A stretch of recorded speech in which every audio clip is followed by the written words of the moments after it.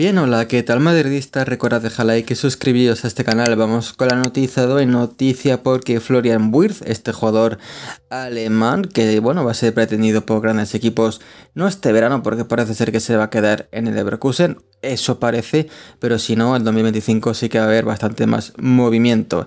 No tengo ningún plan, no tengo ninguna idea en mi cabeza sobre eso. Estoy muy feliz de poder jugar al fútbol nuevamente después de las vacaciones de verano. Primero que todo estoy tratando de lograr mis objetivos con el equipo nuevamente. Luego veremos qué sucede en algún momento, pero no tengo ningún plan de futuro, así que no está confirmando 100% que se vaya a quedar en el Leverkusen mucho tiempo. Esta próxima temporada seguramente sí, repito.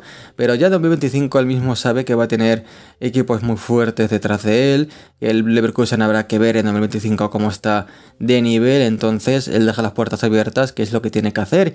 Y bueno, está bastante vinculado al Real Madrid, ya que Madrid pues está buscando algún centrocampista creativo, ya que físicamente tenemos unos cuantos, y Wirth es el gran candidato a fichar. Lo que pasa que te costaría ciento y pico millones seguramente, así que bueno, estaremos pendientes un poquito de lo que pretende hacer el Real Madrid, pero Wirth deja las puertas abiertas.